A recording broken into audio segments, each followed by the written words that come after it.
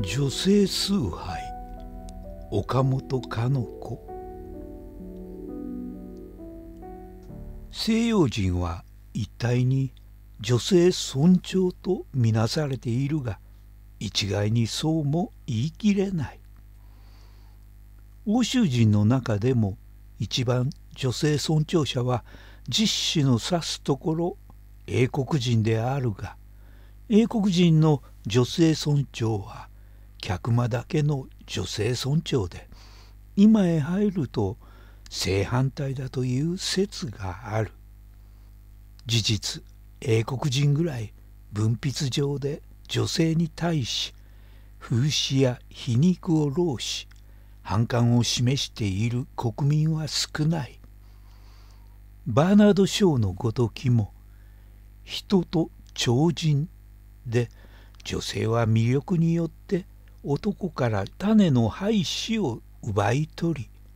次の時代の超人を作ろうとする自然の意図を無意識で執行する盲目の使徒であるというように書いている。英国のクラブの発達というものが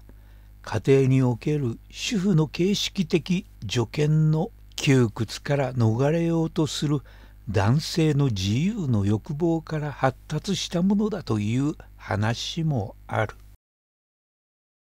そうかと思うとそれほどけばけばしく女性尊重を放送しないフランス人が。家庭は全く主婦の女王の傘下に従順に温まっていいダクダクである。フランス人に言わせると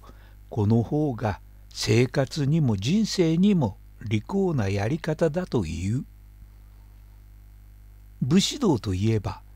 女は眼中にないような風に言われながら制裁となるとなかなか格式を与えて十分な権利を主張せしめている。淀君にうつつを抜かした秀吉が